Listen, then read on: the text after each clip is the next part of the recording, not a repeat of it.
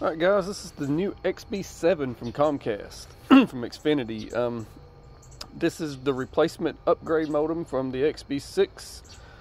So the XB7 is Wi-Fi 6 compatible. It is the newest, latest, greatest addition to Comcast Wi-Fi. It has unlimited devices that you can plug into them. Uh, it's a little bit different being that it has four ethernet jacks on the back two phone jacks and your normal little coax port there. That's where your plug-in goes. Nifty little plug-in right here that goes forward. Excuse the background noise.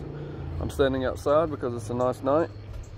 Um, this thing is pretty awesome. It's twice the size of the other one. It's solid white. And Comcast says that this thing will penetrate brick walls.